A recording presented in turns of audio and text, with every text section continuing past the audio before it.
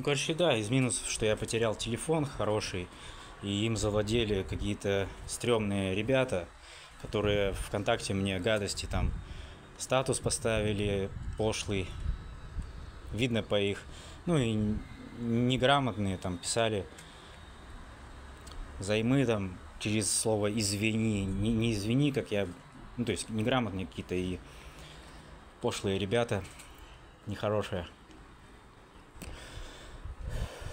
Но плюсы то, что я не пью с тех пор. Похудел знатно. Но есть еще куда худеть. Нужно дальше, до 65 килограмм. Но я на работу буду ходить туда, обратно, час, час 15 минимум пешком, с быстрым шагом. Похудею.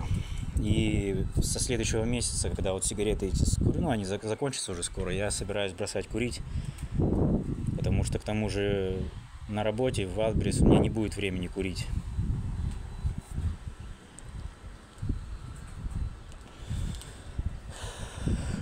Но вот я заметил, есть такое, что когда питаешься одними дошираками Ролтонами, то не поступает микроэлементов, витаминов в организм, и ты это ощущаешь прям. Руки дрожат, истощена нервная система, тело как будто бы вообще не получило пи- пищи никакой. Как будто ты вообще не ел, просто поел вот этот доширак.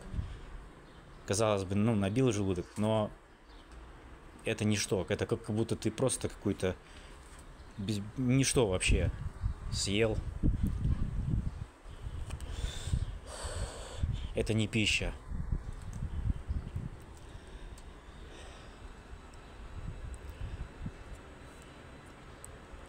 А когда я брошу курить, у меня постепенно будет, ну, будет, конечно, тяжело, но постепенно организм, организму будет полегче.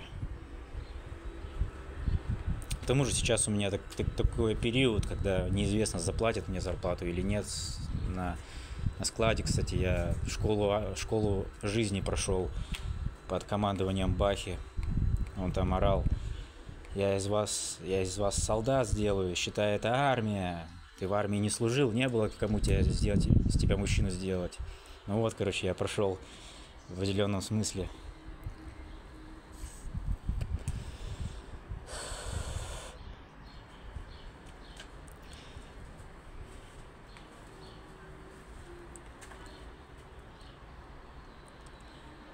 Короче,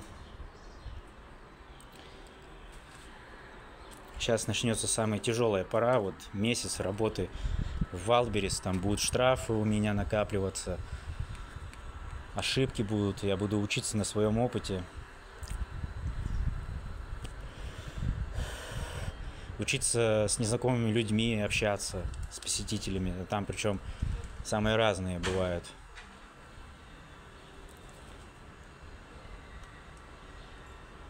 сложный период наступает.